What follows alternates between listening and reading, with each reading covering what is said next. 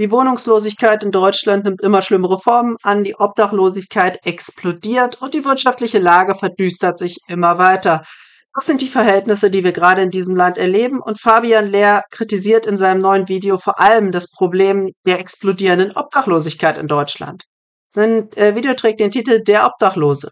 Werbefigur des Exportweltmeisters BRD. Und es ist ja tatsächlich so. Wir haben in Deutschland aktuell noch eine blühende Exportindustrie, die zwar gerade von der Ampel kaputt gemacht wird, zumindest die energieintensive Industrie, während die Armut in diesem Land explodiert ist in den letzten 20 Jahren. Und dazu passt natürlich auch die stark steigende Obdachlosigkeit.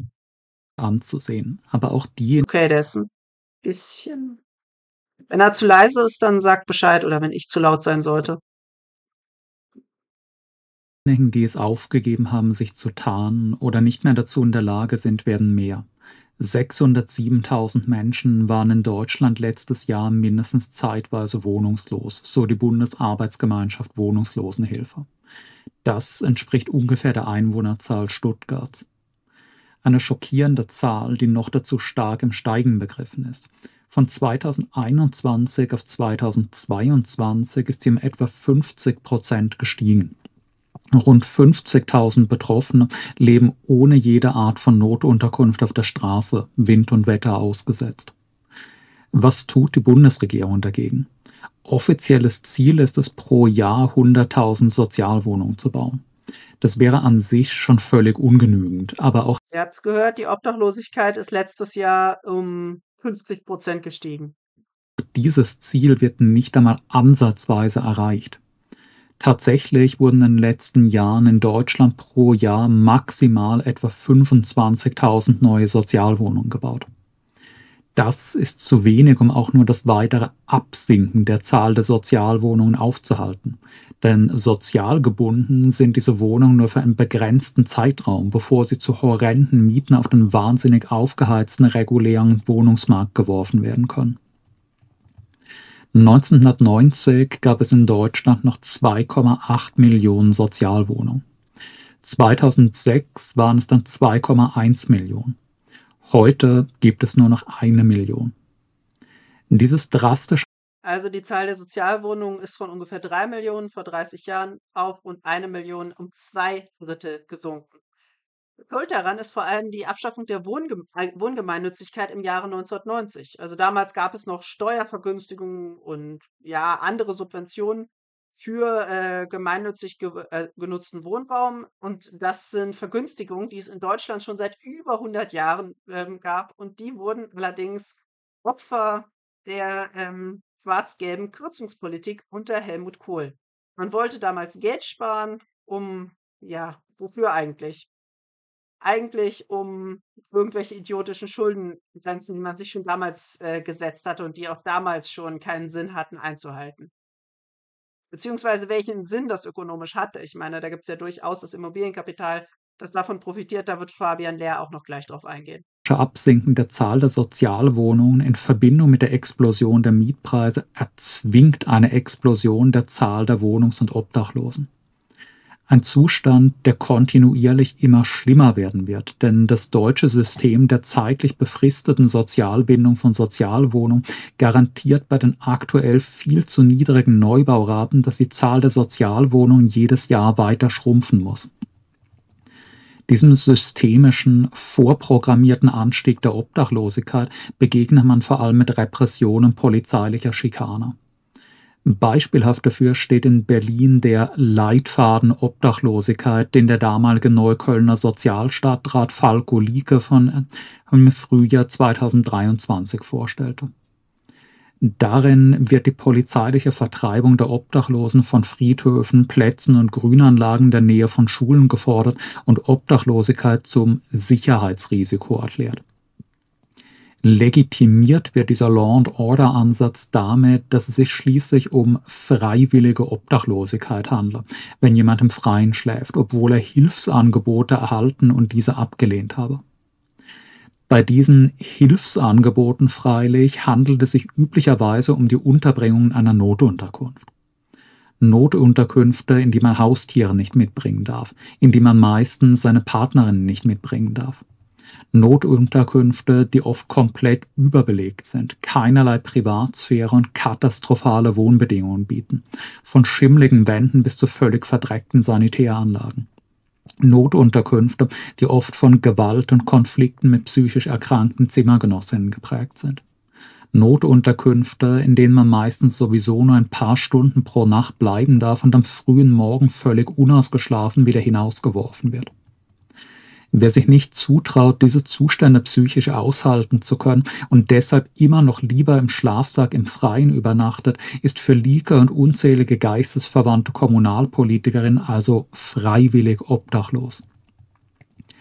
Das scheinbar Verrückte an der Bereitwilligkeit, mit der der deutsche Staat der sich ständig ausweitenden humanitären Katastrophe der explodierenden Obdachlosigkeit zuschaut, ist die Tatsache, dass die Aufrechterhaltung dieser Obdachlosigkeit ihn sogar sehr viel Geld kostet. Erstens, weil Notunterkünfte und ihr Personal tatsächlich teurer sind, als den Menschen eine eigene kleine Wohnung zur Verfügung zu stellen. Zweitens, weil die entsetzlichen Lebensbedingungen auf der Straße dafür sorgen, dass Obdachlose ständig in Krankenhäusern und Psychiatrien landen oder in die Kriminalität rutschen und ins Gefängnis kommen, was alles mit extrem hohen Kosten verbunden ist. Und drittens, weil Obdachlosigkeit nahezu ausschließt, dass die Betroffenen wieder erwerbstätig werden können. Ohne einen festen Wohnsitz gibt es nicht nur kaum einen Job, Obdachlosigkeit macht auch Behandlung psychischer Erkrankungen oder einen erfolgreichen Drogenentzug praktisch unmöglich.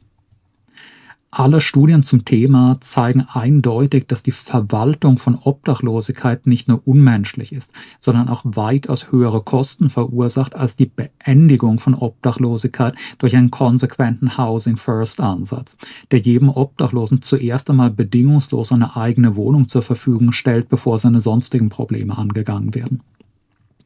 Zweifellos werden diese Studien von der kommunalen bis zur Bundesebene allen verantwortlichen politischen Entscheidungsträgerinnen bekannt sein. Der deutsche ja, Staat weiß. Da kommen, wir, ähm, da kommen wir gleich zu den Ursachen, warum Deutschland nicht gegen die Obdachlosigkeit tut. Wie gesagt, dazu kommen wir gleich. Aber jetzt fasse ich nochmal kurz das zusammen, was Tobias, äh, jetzt bin ich äh, schon ein bisschen durcheinander, was Fabian Lehr hier äh, gesagt hat.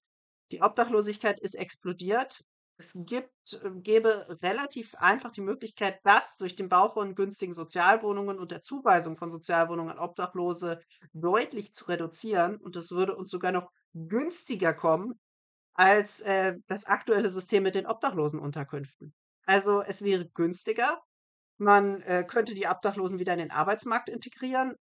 Man hätte dieses Elend auf unseren Straßen nicht. Warum tut der deutsche Staat da jetzt nichts gegen? Dass die Aufrechterhaltung der Obdachlosigkeit ihn sehr viel Geld kostet. Warum gibt Und, es in. Ähm, es war ja auch schon mal sehr viel besser. Also die Obdachlosenzahlen, Fabian der hatte die Zahlen genannt, die sind extrem explodiert. Das liegt nicht daran, dass die Menschen plötzlich ein Bedürfnis verspürt haben, obdachlos zu sein, wie das manche Liberale ähm, argumentieren. Ich meine, das behaupten ja wirklich einige FDPler. Ähm, die Leute, die sind ja freiwillig obdachlos. Ja, wieso sind denn jetzt 50% mehr Leute obdachlos als ein Jahr vorher? Ja, weil die Leute plötzlich so einen Wunsch verspürt haben, unbedingt obdachlos sein zu wollen? Nein, natürlich nicht. Es liegt an den sich verschlechternden ökonomischen Bedingungen, es liegt an der grassierenden Wohnungsnot, es liegt an dem Einbruch der Realeinkommen, es liegt an der mittlerweile steigenden Arbeitslosigkeit. Es gibt so viele Ursachen. Ja, und äh, diese Wohnungsnot, die ist eben politisch gefördert. Wie gesagt, die Zahl der Sozialwohnungen ist um zwei Drittel gesunken in den letzten drei Jahrzehnten. In Deutschland, abgesehen von Modellprojekten für wenige Dutzend Personen, trotzdem keine Housing First Politik. Warum lässt der Staat Zehntausende bis Hunderttausende Menschen langsam auf der Straße und in Notunterkünften verkommen und zugrunde gehen, statt ihnen für weitaus weniger Geld einfach neue Sozialwohnungen zu bauen? Schlichte reaktionäre, menschenfeindliche Leistungsideologie wird sicher eine Rolle spielen. Wer sich nicht aus eigener Kraft bemühe, an ein ausreichendes Einkommen für eine reguläre Wohnung zu gelangen, der habe es nicht anders verdient und es wäre ungerecht, wenn die Gesellschaft ihm eine Wohnung zur Verfügung stellen müsse. Aber es mag bis zu einem gewissen Grad nicht einfach menschenfeindliches Ressortiment, sondern auch rationales Kalkül hinter der Entscheidung stehen, durch die faktische Abschaffung des sozialen Wohnbaus die Aufrechterhaltung der Obdachlosigkeit zu erzwingen. Wenn der Staat zur Lösung der Wohnungskrise unkompliziert Millionen öffentliche Sozialwohnungen für alle Bedürftigen zur Verfügung stellen würde, was ein Staat, der gerade 100 Milliarden zusätzliche Euro für das größte Aufrüstungsprogramm seit dem Dritten Reich beschlossen hat, ohne Zweifel finanziell könnte, dann wäre das eine Kriegserklärung an das Immobilienkapital. Wer würde an einen privaten Immobilienkonzern noch die in deutschen Großstädten aufgerufenen Mondpreise für Miniwohnungen bezahlen, wenn er für einen Bruchteil davon auch eine mindestens genauso große und genauso gut ausgestattete staatliche Wohnung haben kann? Ein staatliches Wohnbauprogramm in dem Ausmaß, das zur Lösung der Wohnungskrise notwendig wäre, würde zwangsläufig zu einem deutlichen Absinken der Mieten auf dem freien Markt führen. Und das kann kaum im Interesse einer Regierung liegen, in der mit der FDP die fanatischste Lobbypartei des Immobilienkapitals überhaupt sitzt. Ein anderer Aspekt kommt aber dazu. Wenn jeder jederzeit unkomplizierten, bedingungslosen Anspruch auf eine Wohnung und eine Grundversorgung hat, wenn also das Absinken in existenzbedrohendes Elend kategorisch unmöglich ist, dann verbessert sich die Verhandlungsposition von Erwerbslosen. Wer nicht mehr davon bedroht ist, durch Leistungskürzungen oder gar eine Leistungsstreichung seine Wohnung zu verlieren und ins nackte Elend zu stürzen, der kann vom Jobcenter schwer dazu genötigt werden, völlig unterbezahlte Jobs mit kaum zumutbaren Arbeitsbedingungen anzunehmen um Erwerbslose, die dank gesicherter Existenzgrundlagen selbstbewusster auftreten können, zur Annahme ihrer undankbarsten Jobs zu bewegen, müssten Kapitalistinnen höhere Löhne zahlen und bessere Arbeitsbedingungen bieten. Das würde also höhere Lohnkosten und damit potenziell. Ja, also der erste Profiteur der ja, Wohnungsnot und damit indirekt auch der steigenden Obdachlosigkeit ist das Immobilienkapital. Also vor allem Konzerne wie Vonovia niedrigere Wettbewerbsfähigkeit des Standorts Deutschland bedeuten, wäre also schlecht für das deutsche Kapital. Ein Absenken der Lohnkosten, um dadurch die Produktion in Deutschland billiger und Exporte somit wettbewerbsfähiger zu machen, war aber gerade das Ziel der Agenda 2010 von Schröder, die von allen Nachfolgeregierungen in ihren Kernzügen beibehalten wurde. An den Grundlinien dieses Sozialkahlschlagsprogramms hat jede Bundesregierung seit dem Ende der 90er Jahre festgehalten.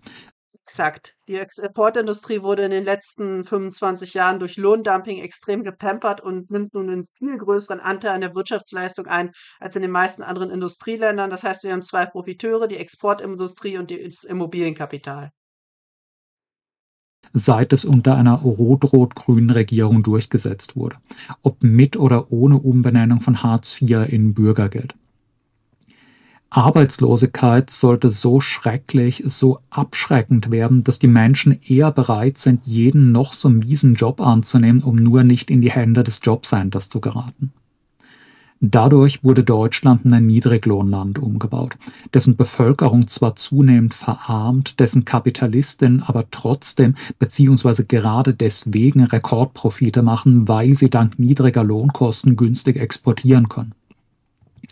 Das Erfolgsmodell des Exportweltmeisters Deutschland beruht darauf, die eigene Bevölkerung durch Drohung mit Entzug aller Existenzgrundlagen zur Annahme mieser, niedrig bezahlter Jobs gefügig zu machen ein gewisses Maß von Obdachlosigkeit erfüllt, ob nun geplant oder nicht, dabei eine unterstützende volkserzieherische Funktion. Der frierende Obdachlose unter der Brücke erinnert den Arbeitslosen, dem das Jobcenter auf die Pelle rückt, daran, dass es, wenn er sich querstellen sollte, auch noch schlimmer kommen könnte. Daran, dass auch er nicht davor geschützt ist, alle Existenzgrundlagen zu verlieren, wenn er sich hartnäckig weigert, sich in einem Knochenjob für Mindestlohn ausbeuten zu lassen. Der Obdachlose Werbefigur für das Deutschland der Agenda 2010. Vielleicht steht die Obdachlosigkeit in diesem Staat auch darum unter Schutz und sei ihre Aufrechterhaltung auch mit hohen Kosten verbunden. Exakt. Wie gesagt, wir haben zwei Profiteure, das Immobilienkapital und die Exportindustrie. Also von der deutschen Bevölkerung, um das mal ins Verhältnis zu setzen, da haben wir 99 Prozent, die vor allem von Transfer- oder Lohneinkommen leben und 1 Prozent, die von Kapitalerträgen oder ähm, Mieten leben. Also 1 Prozent Rentiers, 99 Prozent Arbeiter, Rentner, Arbeitslose.